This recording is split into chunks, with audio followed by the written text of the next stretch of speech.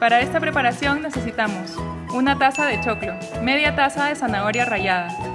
media palta, dos hojas de lechuga orgánica,